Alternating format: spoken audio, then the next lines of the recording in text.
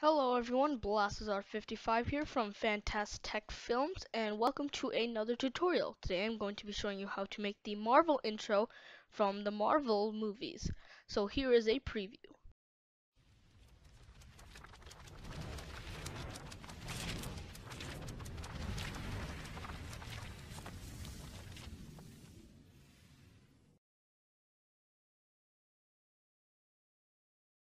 So as you can see, this one is one of like the older style intros, not exactly the newer ones. If um, we were to make a newer one, we'd have to deal with like um, you know 3D programs like Cinema 4D or Blender or something. Um, and I don't think I would I want to deal with those, and because those need some more um, expertise, which I don't believe I have. Um, so before we start, you're going to have to download um, some assets, and the link to that will be the in the description below. Um, so one of them is a uh, font, uh, like a font. So you're going to have to install that. So I believe um, for me, I had to like open it up, and there was like an install button. And when I pressed that, I just had to allow it to make changes to my computer, and the um, uh, font was there. So it's uh, it's called Benton Sans Extra Comp Black. So um, and then the other assets. Uh, this first one is just um basically like this the flipping animation. The second one is the like these lines. So this is where like your second set of text will be, and like the Marvel one, it would have said Studios here, and then this one's just a red background. So what we want to do is we will drag our um, background into this button, create a new composition, uh, rename this to uh, or not that one. We want to rename this to main comp let's drop our red background below it and then we'll click this eye here so that we can only see our red background. And then we'll go up to our text tool here and then create um, some text. So uh, oops let's go back. I want to um, I want this to be uh, quite bigger. So like so. Then just change this back to zero and then um, red fan not fat fantastic tick. Apparently I don't know how to write. And then um, I'll just horizontal center it out and then position. I'll just move it down to where I want it because I do want it to stay like fairly centered. At least like horizontally wise. Okay, so I want there. I don't think it's big enough, so I'm just going to uh, make it a little bigger. Alright, I uh, think I like that. Okay, so now what we're going to do is so we'll press T on the keyboard for the background layer to bring it back, and then go to the point where you want your text to start um, fading in. I want mine to be around like here, and so create a keyframe here by pressing the stopwatch, then go about like around two seconds, so um, should be around like here, and then we'll uh, bring this down to zero. And so then if we uh, go back up, render a preview, you can see our text is now um, appearing. It's kind of fading um, in from that. So now let's bring our lines asset, keep it underneath the background because we want everything to be underneath that.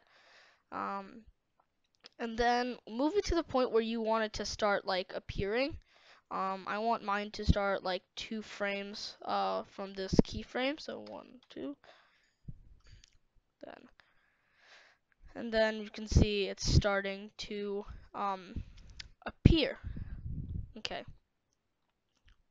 So now uh, go to go to the point where um, zoom in and find the point where um, the lines stop stretching further and then like they start zooming uh, like back, zooming out. So that's around, that's this frame, then that it starts to zoom out, and then here's, okay.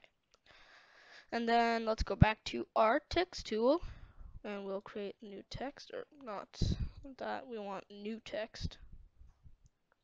And then um, let's lower the size around there. And then, so if we just type something there, it's like films. It's not like there's no distance between the text. So what we want to do is delete those. Um, I would, well, I'll take try 380. So we want to change this, and so that will change the distance between um each um you know thing. So like each uh word letter. Okay, so now what we want to do is move it there, line tab, there, horizontal, center, and I want it to be a bit bigger. So let's just up that a little bit, like so. Just make sure it's aligned. Okay. Then I think just move the position a bit down. Alright, so now what we want to do is um actually uh, put the lines layer above or take the text, put it below the lines layer, and then what we want to do is go to um around let's see. So I want I want my uh, like text to start appearing from that point. So like where there's a little bit of space between the two lines. So we'll just cut our text to that um, point and then what we want to do is we want to um, duplicate this by pressing control D and then we'll put it uh, below our lines layer but above our, our um, everything else.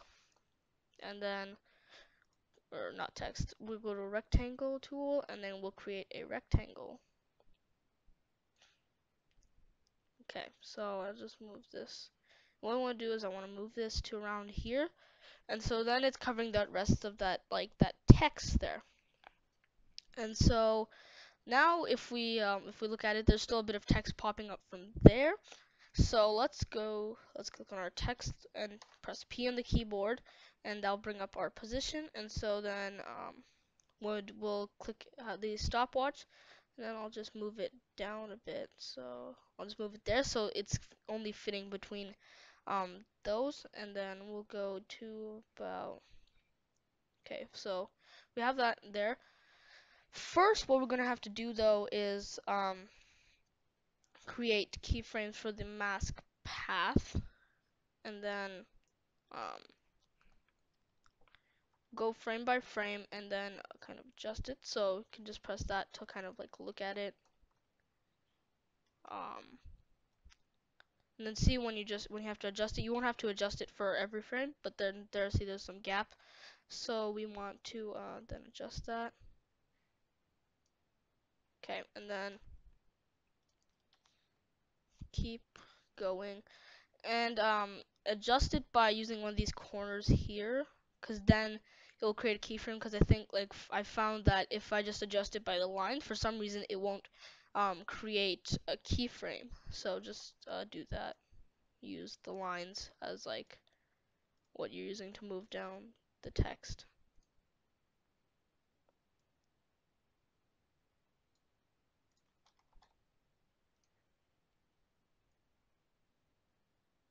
Okay so there we go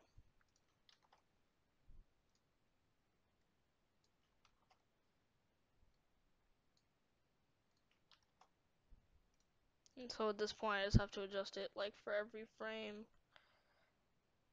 There. Until the point where it stops expanding.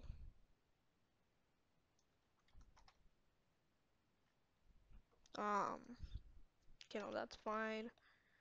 That one, have to adjust. I'll just try and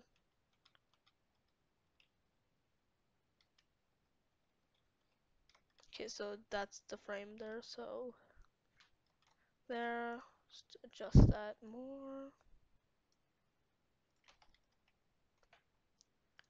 Once more. And then there.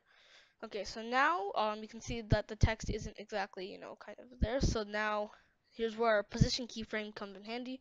So at that frame here, uh, we're going to take it and move it up a bit so like around there. And so then um, let's render a preview see how that looks. Okay yeah so we'll talk we'll uh, do the zooming part later. But at the moment it looks um, you know it's kind of uh, going along with the text.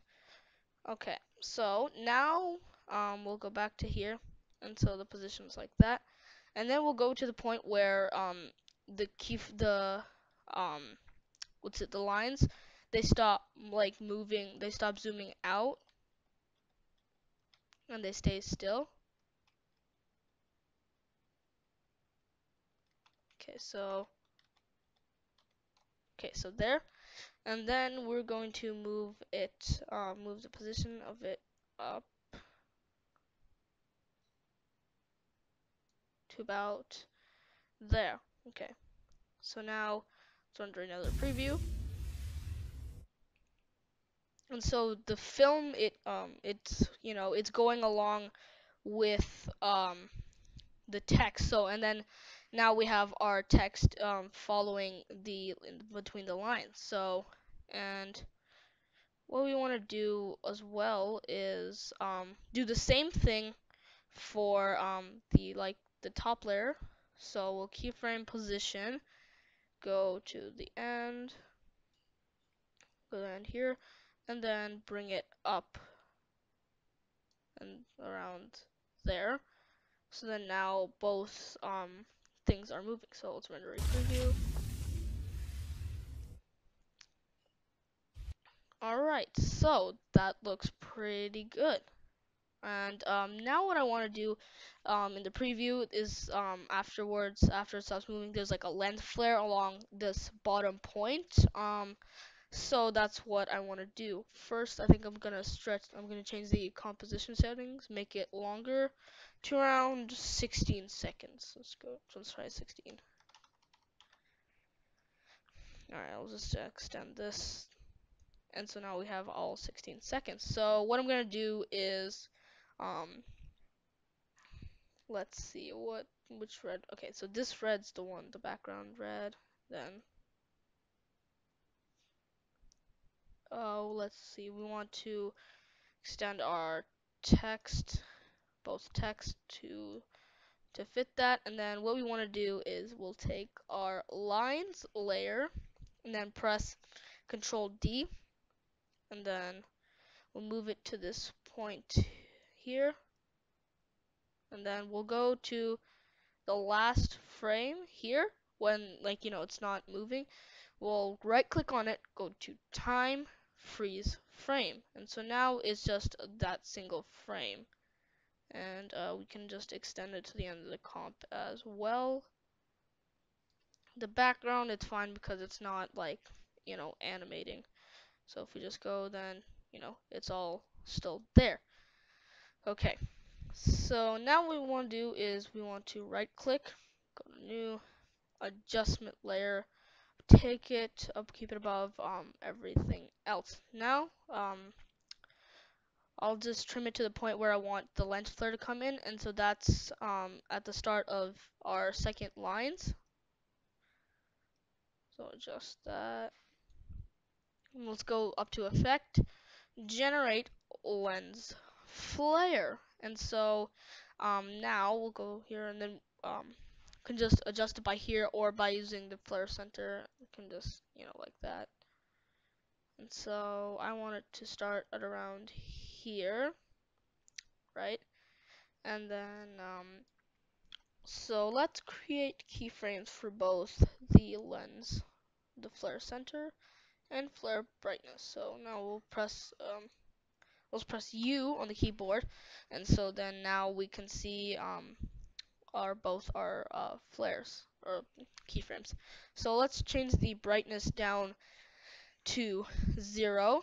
Then go um, 11 frames forward and bring it up. So 1, 2, 3, 4, 5, 6, 7, 8, 9, 10, 11. Uh, and you can move along frames by um, holding control and then pressing the left or right on the keyboard and bring it up bring it up. So um, I like mine at 137. I think it gives like a good, um, you know, kind of brightness. Now, I want it to be moving while it gains full bright, while it gains the brightness. So um, I'll go to my end brightness keyframe, and then I will move this the flare center. Actually, just keep Control Z that, and then I'll not this one. We want to move the left one around here, just so, just a bit, and then so it's kind of um it's moving while um it brightens up. Alright, then move around to the timeline um around like uh one second, I guess. So like one, you know, then one, eight. So around like 30. I I checked with um my previous like the original thing, and um it's 38 frames, so you can do 38 frames. But then again, this is whatever like however long you want it. So and then we'll just move um our flare center to the end and then create another keyframe for the flare brightness. So here. And then go around like 17 frames. So 1 2 3 4 5 6 7 8 9 10 11 around like there ish and then we'll bring it down. Alright so if we just play that back Alright, so now let's um uh, left click and then just drag it along and select all these keyframes. Right click, keyframe assistant, easy ease. And so what that's going to do is it's going to make our animation a bit smoother. So, okay. So now let's go back to the beginning and I'll uh, render out a preview. So I'll just change this to, um, yeah, sure.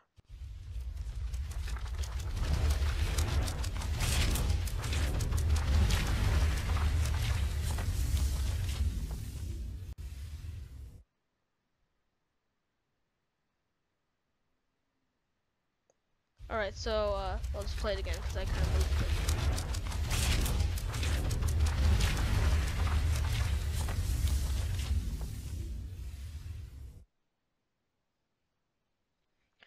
Alright, so that's looking good. I'm happy with that. And that's all that's it. So that's how you can create um, one of the older Marvel intros from the Marvel movies. So thank you guys so much for watching. If you enjoyed this tutorial, um, leave a like and uh, subscribe for more tutorials, more short films, and if there's any certain like effect or something you would like me to um, like give a tutorial of, then uh, comment that below in the description below.